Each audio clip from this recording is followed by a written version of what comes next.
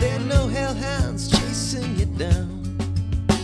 No urgencies quickening your pace. While Los Angeles screams